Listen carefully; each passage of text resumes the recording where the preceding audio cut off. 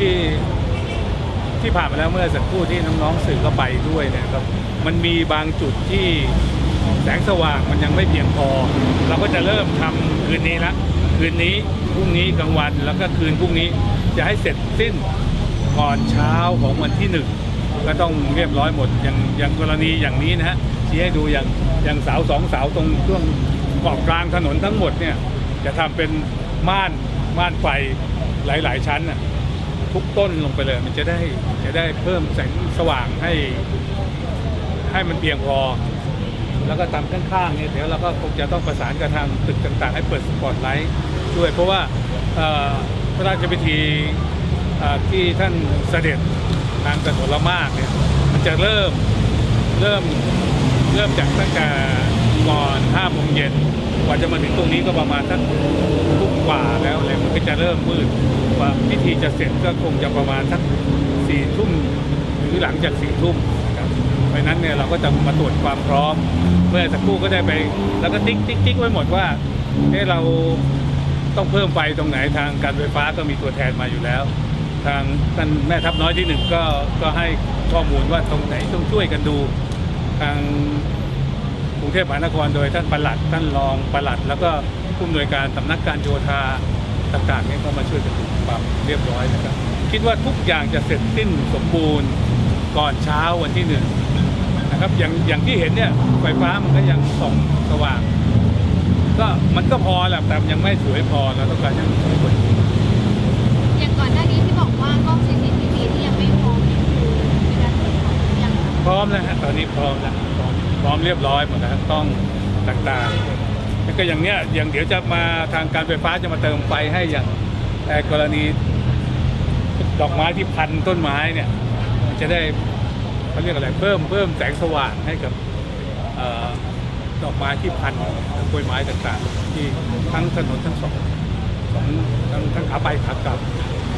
โดยรวมแล้วคือตอนนี้มีความพร้อมกี่เปอร์เซ็นต์แล้วคะ ผมว่า 99%แล้วนะ 99%ก็เพิ่มเติมสิ่งที่ขาดเหลือแต่นิดๆหน่อยๆเองไม่ไม่มีอะไรที่จะต้องเพิ่มเติมมากมายนะครับ เชื่อว่าคือทุกคนเนี่ย คนของกทม คนของการไฟฟ้า คนของกองทัพ ของกระทรวงกลาโหม ของฝ่ายความมั่นคงตำรวจทหารต่างๆเนี่ยก็ช่วยกันช่วยกันดูช่วยกันทำทั้งหมดนะทุกคนอยากจะให้ผลสำลิดมันเกิดขึ้นดี เพราะว่า พระราชพิธีอย่างนี้มันก็ในชีวิตเราก็คงแค่แค่ครั้งเดียวนะครับคงจะแค่ครั้งเดียว มันก็ถ้าถือว่าเป็นบุญตาของเราด้วยนะ แล้วก็เอ่อเป็นบุญของเราที่ได้มาร่วมเล็กๆน้อยๆในพระราชพิธีมหามงคลของสมเด็จพระเจ้าอยู่หัววันนี้ท่านมีการสถาปนา นักบอลตัดขึ้นมาเราก็ได้มีส่วนร่วมนิดเดียวก็เป็นก็เป็นความภูมิใจอะครั้งหนึ่งในชีวิตของผู้ปฏิบัติ ทีนี้ถามถึงความพร้อมครับของประชาชนที่จะมารับเสด็จในงานพระราชพิธีนี้ยังไงคะขณะนี้เราเป็นจัดเป็นหกกลุ่มโซนสำหรับพี่น้องประชาชนก็จะมีคนรับผิดชอบ แต่ละกลุ่มโซนเลย มันจะมีหน่วยความมั่นคงทั้งหมดมีจุดคัดกรองทั้งหมด 22 จุดตัว จุดไหนก็จะพาเข้าไปสมมุติว่าก่อนจะเข้าจุดนั้นจะตรวจความเรียบร้อย การแต่งกายเสื้อ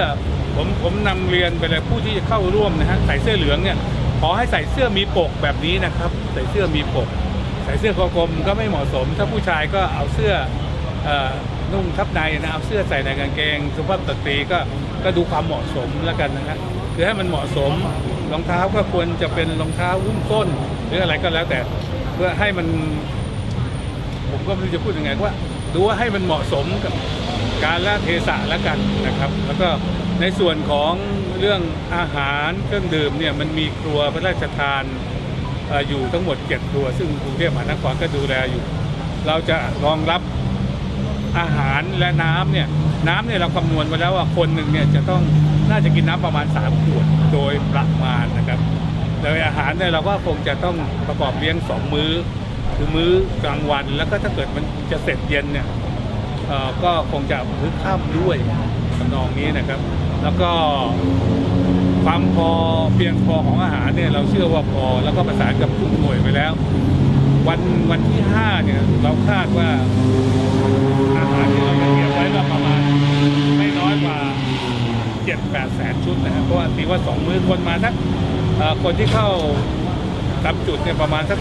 สามสามแสนสองคูณก็เป็นหกแสนแล้วก็คนที่เข้าไม่ได้ต่างๆ แล้วก็จุดที่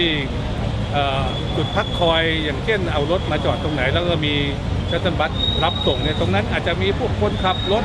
ต่างๆเนี่ยเราก็เตรียมอาหารมาให้ด้วย แล้วจุดพักค้างทางกรุงเทพมหานครก็ได้จัดไว้ที่กีฬาเวทที่ดินแดงนะครับ แล้วก็จะมีพร้อมดูแลมีเครื่องเครื่องนอนพร้อมมีเครื่องนอน นอนห้องแอร์นะครับ สบายมีอาหาร มีรถรับส่ง ขอให้แจ้งไปตามรายละเอียดซึ่งเราได้ประชาสัมพันธ์ไปแล้วว่า ต้องการมีวัตถุประสงค์จะมาพักกี่คืน